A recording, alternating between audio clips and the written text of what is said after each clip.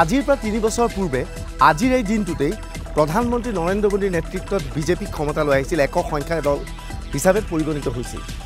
আজিৰ পৰা কিছুদিনৰ আগতে তিনি বছৰ আগৰ কাহিনী কৈছোঁ সেই সময়ত প্ৰধানমন্ত্ৰী মোদীয়ে নিৰ্বাচনী সভাত কৈছিল যে ষোল্ল মে'ৰ তাৰিখে বাংলাদেশী অনুপ্ৰৱেশকাৰীয়ে পেকিং কৰি পেকেজিং কৰি সামগ্ৰী বান্ধি অসম বা ভাৰতৰ পৰা বাংলাদেশলৈ যাব লাগিব তেওঁলোকক পঠিয়াই দিয়া হ'ব। কিন্তু কাৰ্যত সেয়া কোৱা নহ'ল। মোদীৰ এয়া ভুৱা প্ৰতিশ্ৰুতি বুলি বিভিন্ন সময়ত অভিযোগ আহিছিল। যি কি নহওক কংগ্ৰেছৰ ফালৰ পৰা মোদী চৰকাৰৰ এই তিনিটা তিনি বছৰীয়া কাৰ্যকাল উপলক্ষে আজি এক বিশেষ ভিডিঅ' উলিয়াইছে এই ভিডিঅ'ৰ জৰিয়তে বিগত সময়ছোৱাত প্ৰধানমন্ত্ৰী মোদীয়ে কি প্ৰতিশ্ৰুতি দিছিল আৰু কাৰ্যত সেয়া কি হ'ল সেয়া দেখুৱাব বিচাৰিছে আমি এইবাৰ দৰ্শকসকলক দেখুৱাব বিচাৰিছোঁ কংগ্ৰেছে প্ৰস্তুত কৰি ওলোৱা সেই ভিডিঅ'টো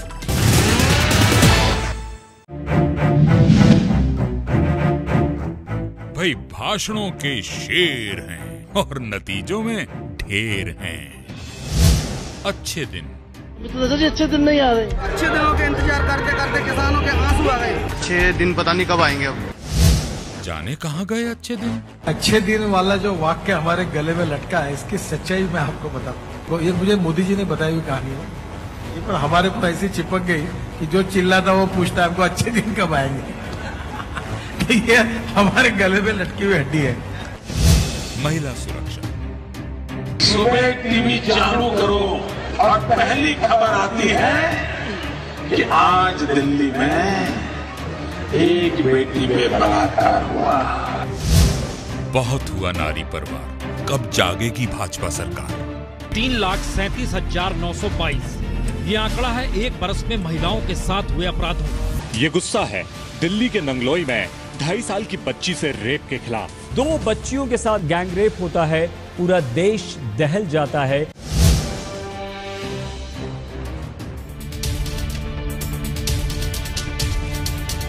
हमारे देश के जवान मारे जा रहे हैं। और मैं तो देख रहा हूँ पाकिस्तान हिंदुस्तान के जवानों के सर काट रहा है।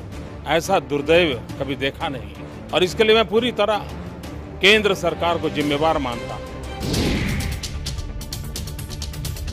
अक्टूबर 2016 जवान मनदीप सिंह का शव। शक्त विशक्त कर दिया गया।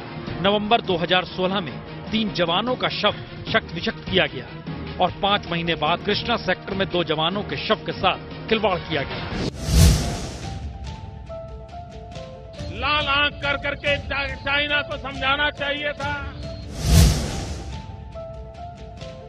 आँख दिखा करके भी दुनिया के संबंध नहीं बनते हैं इसलिए हमारा रास्ता है आँख मिला करके दुनिया में भारत का स्थान है। जिस आधार कार्ड के नाम पर पूरे हिंदुस्तान में कांग्रेस के लोग नाच रहे थे और न जाने देश के लोगों को क्या कोई बड़ी जड़ी बूटी दे दी है कि जो उनके हर संकटों से मुक्ति दिलाएगी, उस आधार कार्ड पर के वो खेल खेल रहे थे। मैंने आधार कार्ड के संबंध में गंभीर सवाल उठाए थे। जिसे पहले बताते थे निराधार अब उसी को बताते हैं जीवन का आधार।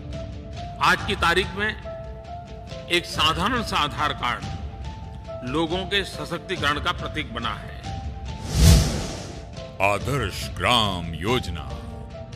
हर सांसद 16 तक अपने इलाके में एक गाँव को आदर्श गाँव बना। अब खुद ही जानिए मोदी जी के गोद लिए जयापुर गाँव की सच्चाई। सड़कें टूटी हुई है।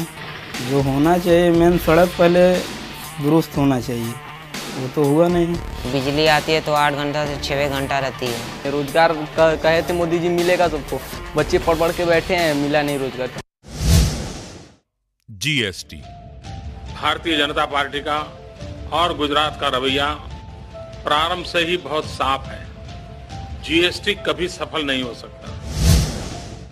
सत्ता से पहले जीएसटी हानि सत्ता पाकर जीएसटी तरक्की की निशानी। तिगड़म की जय हो। As far as BJP is concern हम लोग जीएसटी के पक्ष में है। रोज़गार की समस्या। ज़्यादातर नवयुवकों ने इस बारे में अपनी वेदना प्रकट की हमसे कि खाली हैं। लेकिन वो कुछ कर नहीं पा रहे हैं। वाह रे भाजपा सरकार युवाओं की नौकरी से भी तगड़म। रोज़गार का आलम यह है कि जिस सरकार ने हर बरस दो करोड़ रोज़गार देने का वादा किया वही सरकार वही सत्ता सबसे कम रोज़गार दे पा रही है। 20 करोड़ आ, आपने कहा था नई नौकरियाँ बनेंगी आ, ऐसा कोई आसार नज़र नहीं आ रहा। देखिए हमने न, नौकरी शब्द प्रयोग नहीं किया। किसानों की लाचारी किसान को आत्महत्या इसलिए करनी पड़ रही है कि सरकार की नीतियाँ ही उसके लिए जहर बन गई है। आपके राजकाज में हर रोज देश के 35 किसान आत्महत्या करने पर मजबूर हैं। न फ़सल के दाम हैं न सरकारी खरीद। बातों की तिकड़म नहीं न्याय और अधिकार चाहिए। ये सभी पीएमओ की तरफ़ गए और प्रधानमंत्री से मुलाकात न होने के बाद इन्होंने ये निर्वस्त्र प्रदर्शन शुरू कर दिया। फ़सल बीमा योजना। ये प्रधानमंत्री फ़सल बीमा योजना मैंने आपके सामने प्रस्तुत की है मेरे भाइयों। सच कहा अकेले खरीफ 2016 में ही प्राइवेट बीमा कंपनियों को दस हज़ार करोड़ का मुनाफा दे डाला। प्रधानमंत्री का तो खाली नाम ही नाम ही है और फ़ायदा ये जितनी भी प्राइवेट कंपनी है उनको होने वाला है। किसानों से दो प्रतिशत लिया जाता है बाकी आठ प्रतिशत केंद्र और राज्य सरकार भरती है। लेकिन जाता तो हमारा ही धन है। ये सरकारें मिलकर के बीमा कंपनियों को लाभ पहुंचाती क्योंकि निजी बीमा क्षेत्र में बीमा कंपनियाँ बीमा करती हैं। न्यूनतम समर्थन मूल्य। हम सरकार में आएँगे तो किसान को जो लागत लगती है खेती करने में उसका जो इनपुट कॉस्ट है, जितना भी प्रकार का उसका खर्चा होता है, उस खर्चे का हिसाब लगाया जाएगा। उसके ऊपर 50 प्रतिशत मुनाफा जोड़ दिया जाएगा।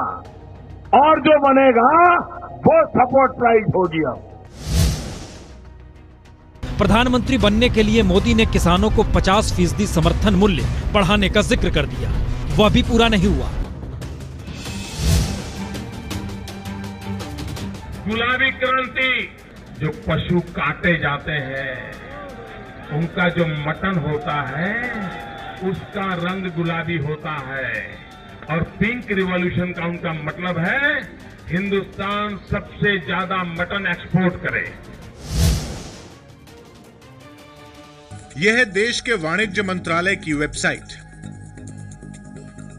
इस वेबसाइट पर भैंस के मीट के निर्यात का आंकड़ा देखिए।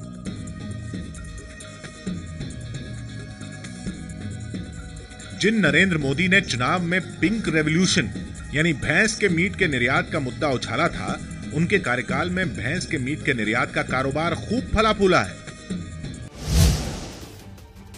मेक इन इंडिया विश्व भर में लोगों से कहना चाहता हूँ कम मेक इन इंडिया खुद प्रधानमंत्री अपने हाथों से मेड इन चाइना वाला माल बांटने वाले अपने संसदीय क्षेत्र में शारीरिक तौर पर अक्षम लोगों को ट्राईसाइकिल हियरिंग मशीन और व्हील चेयर बांटेंगे और इस आयोजन के लिए चाइना से ट्राईसाइकिल मंगाए गए। इससे ज़्यादा हद क्या हो सकती है कि मेक इन इंडिया वाले मेड इन चाइना का माल बांटेंगे। Skill India. देश को विकास के लिए और आगे बढ़ाना है तो स्किल डेवलपमेंट ये हमारा मिशन है।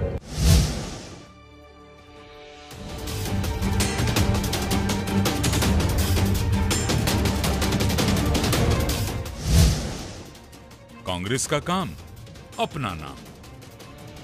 तीन सालों से यूपीए की परियोजनाएँ, मंगलयान से लेकर पावर ग्रिड, गैस पाइपलाइन, माता वैष्णो देवी रेल परियोजना और एशिया की सबसे बड़ी सुरंग का फीता तो काट रहे हैं मोदी साहब। और कांग्रेस ने कुछ नहीं किया का ज्ञान बांट रहे हैं।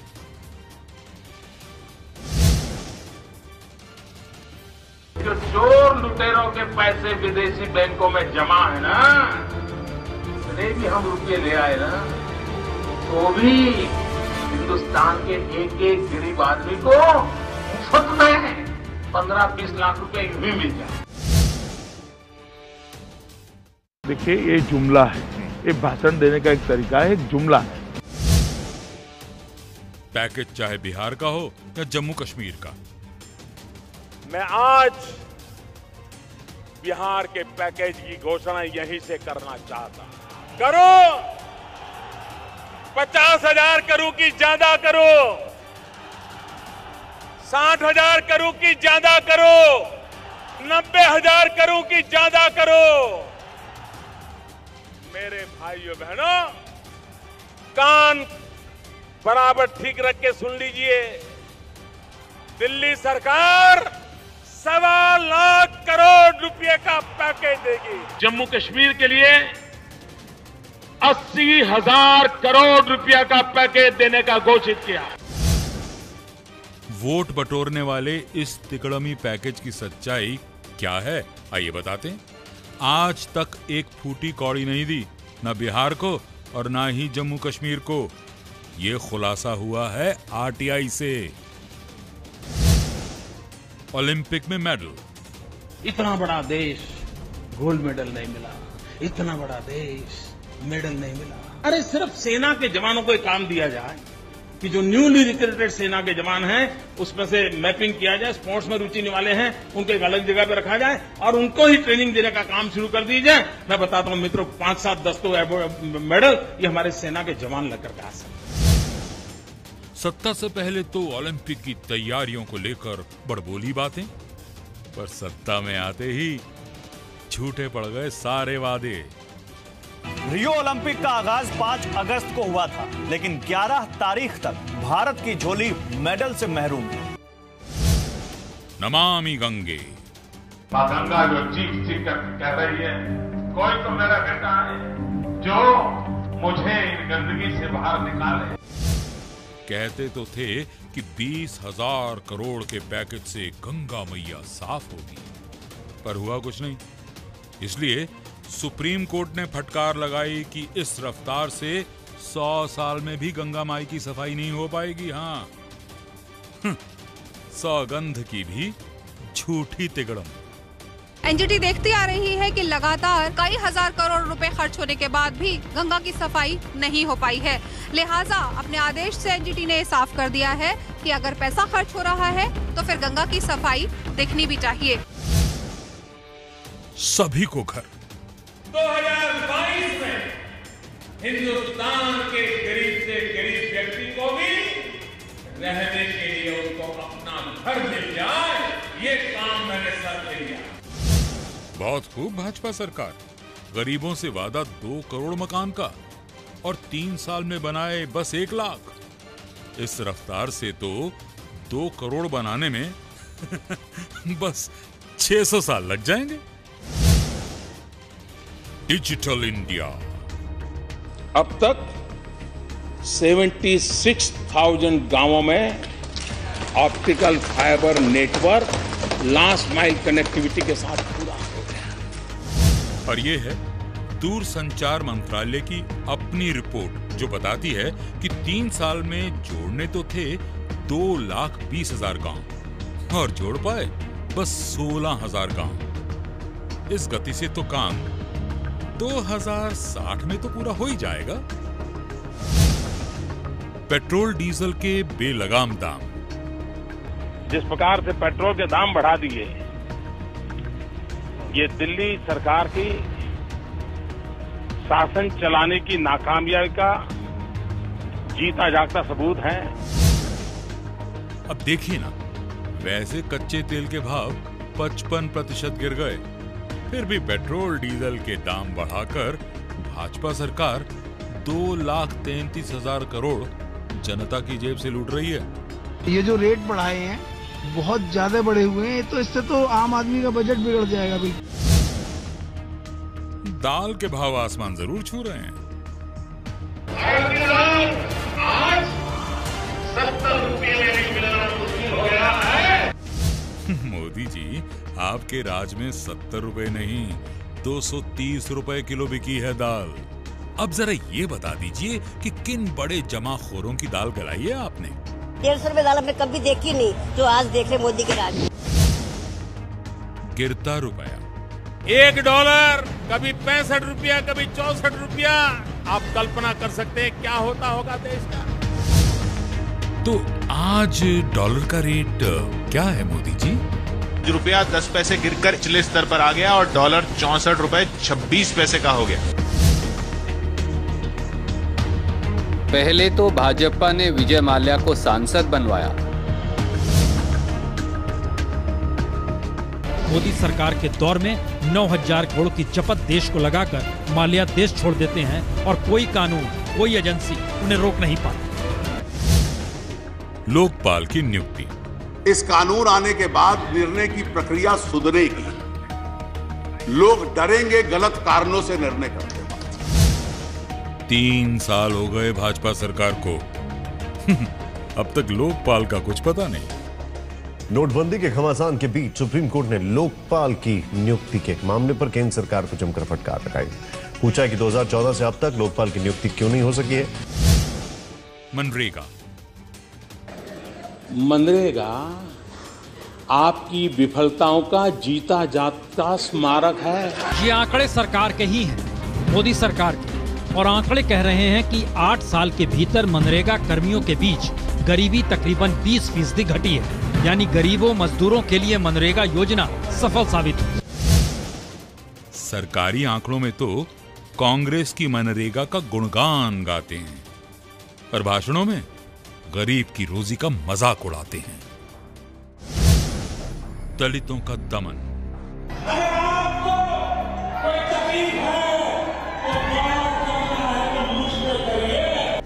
जब वोट बटोरने हों तो दलितों का दर्द याद आता है।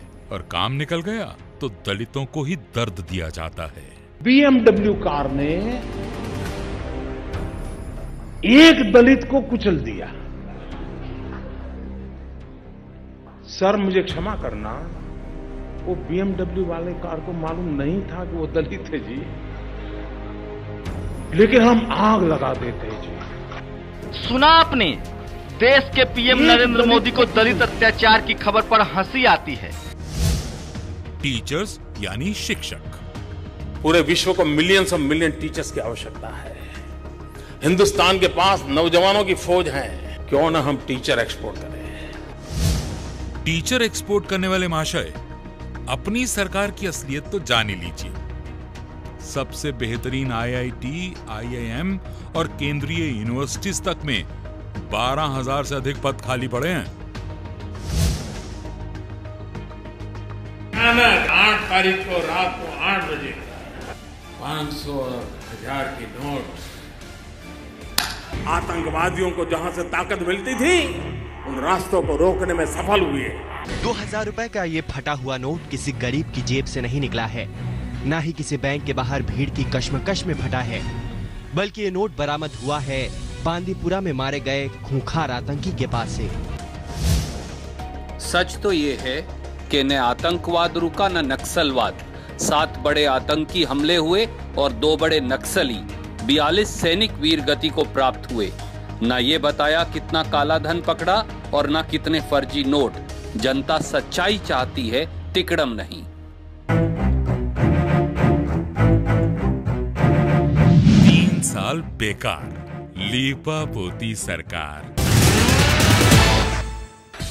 হুৰুকাত হাতী অনুষ্ঠান আজি ইমানেই। অনুষ্ঠানৰ পৰা বিদায় ল'ব ওলাইছোঁ। কাইলৈ পুনৰ লগ পাম। ধন্যবাদ। শুভৰাত্ৰি।